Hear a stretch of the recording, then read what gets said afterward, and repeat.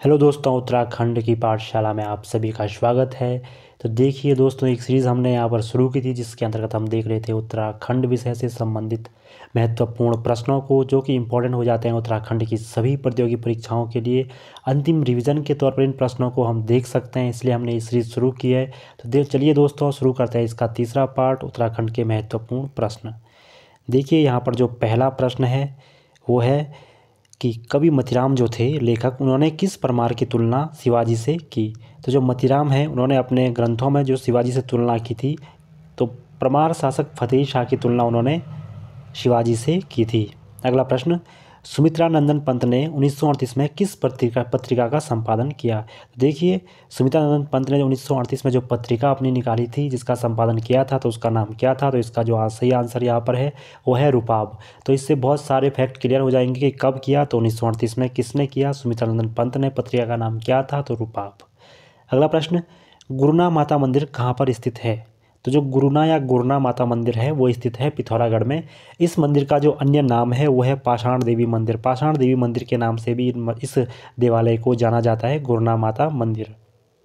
अगला प्रश्न, जो भाषाविद हैं त्रिलोचन पांडे, उन्होंने कुमाऊँ की बोलियाँ कितनी मानी या कितनी बोलियाँ कुमाऊँ की मतलब कुमाऊँ कुमाऊनी भाषा का जो वर्गीकरण किया तो कितनी बोलियाँ उन्होंने इसके अंतर्गत मानी?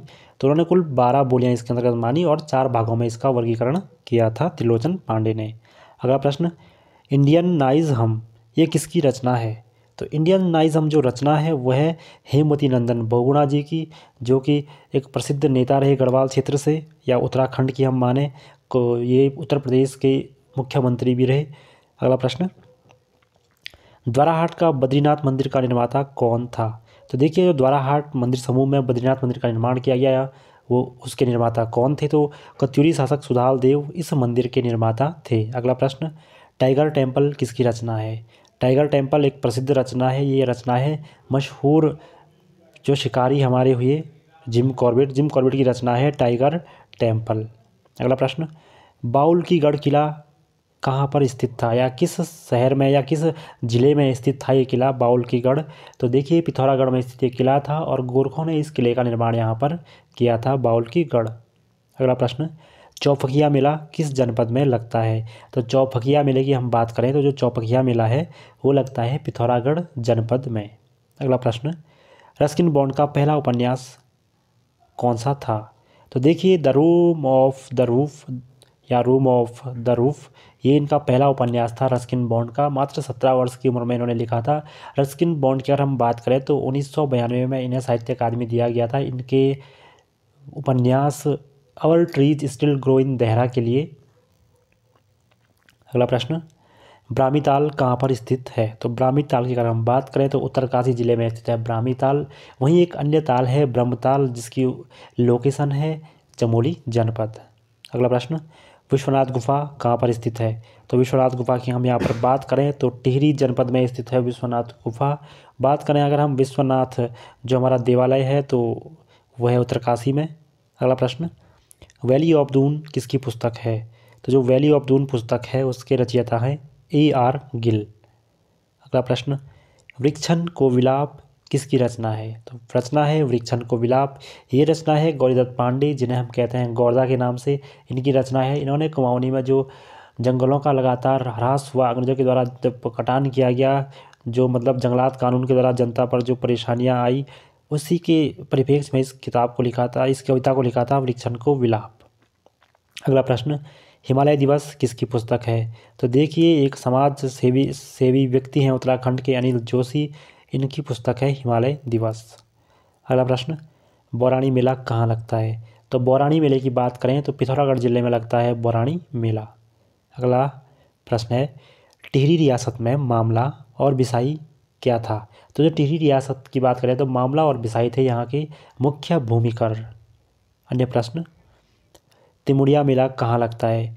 तो देखिए, तिमुड़िया मेले की हम बात करें तो जोशीमठ में लगता है। तिमुड़िया मेला तिमुड़िया, यहाँ पर एक लोक देवता है, या इन्हें एक असुर का रूप भी माना जाता है।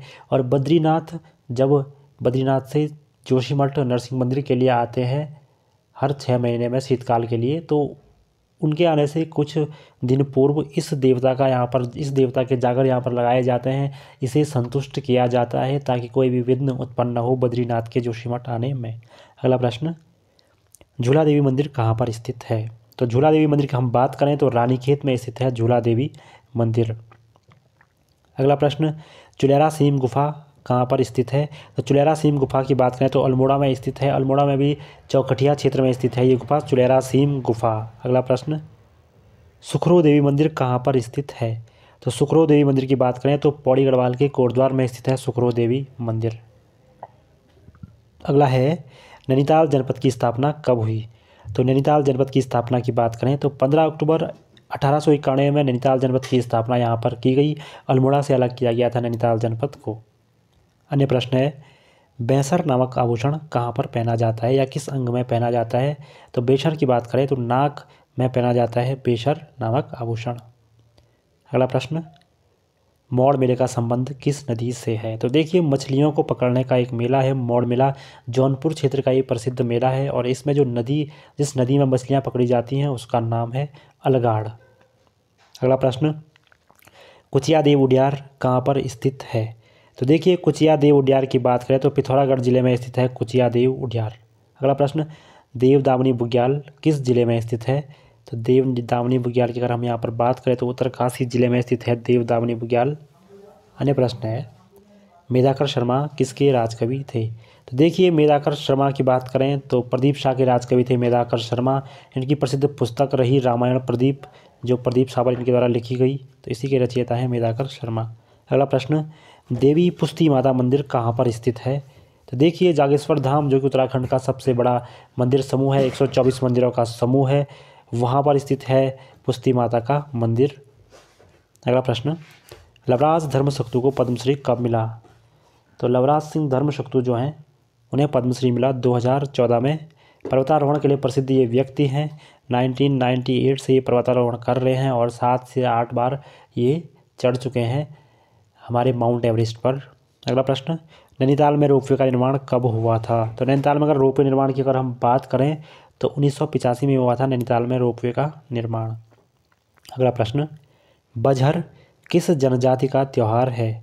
तो बजहर की अगर हम बात करें, जो प्रमुख त्यौहार है ये, थारू जनजाति का प्रमुख त्यौहार है बजहर। अगला प्रश्न, नशा एक षड्यंत्र है, किसकी पुस्तक है? तो एक पुस्तक है, नशा एक षड्यंत्र है तो ये पुस्तक है, ये है डॉक्टर शेखर पाठक जी की। अगला प्रश्न है, खस परिवार कानून किसकी रचना है? तो खस परिवार कानून जो रचना है वह है doctor L D Joshi ji की।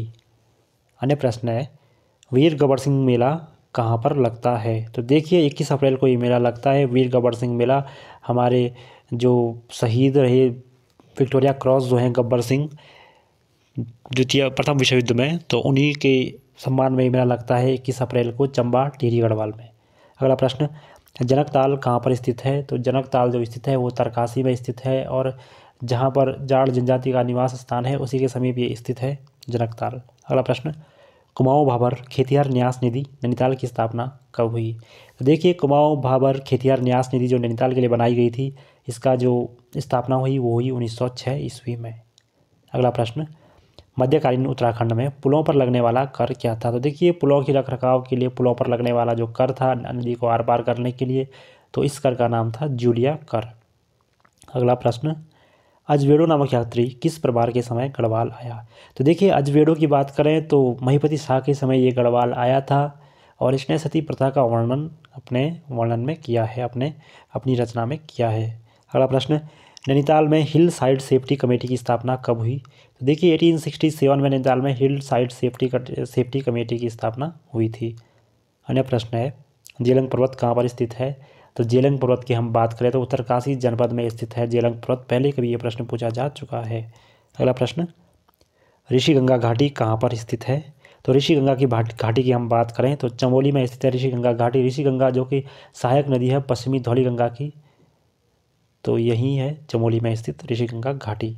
अगला प्रश्न, चौबटिया में पर्वतीय फल शोध केंद्र की स्थापना कब हुई? चौबटिया देखिए अल्मोड़ा में पर्वतीय फल शोध केंद्र की स्थापना हुई थी उन्नीस सौ बत्तीस में। अगला प्रश्न, क्लाउड इंड नामक स्थान कहाँ पर स्थित है? क्लाउड इंड नामक स्थान जो स्थित है, यह है मसूरी में। अन्य प्रश्न है, उत्तराखंड कितना सच कितना छल? किसकी रचना है। यहाँ पर सहायक नदी हो गया है। लेकिन किसकी रचना है? उत्तराखंड कितना सच, कितना छल? तो देखिए, जो उत्तराखंड कितना सच और कितना छल जो रचना है, वह है सुरेंद्र सिंह पांगती जी की रचना। पिथौरागढ़ से संबंधित व्यक्तित्व है। अगला प्रश्न, लंगड़ी किरण किसकी रचना है? तो लंगड़ी किरण की अगर हम बात करें तो प्रसिद्ध रचना है लंगड़ी किरण। ये है लीलाधर जगूड़ी जी की, जो कि टीडी से संबंधित एक महत्वपूर्ण हिंदी कवि हैं। अगला प्रश्न राजीव गांधी एडवेंचर अकेडमी कहाँ पर स्थित है? तो राजीव गांधी एडवेंचर अकेडमी की बात करें तो नई टीडी में स्थित है राजीव गांधी एडवेंचर अकेडमी।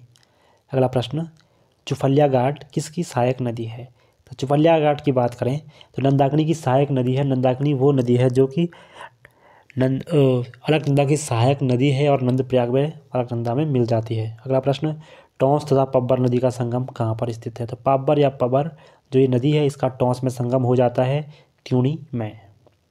अगला प्रश्न।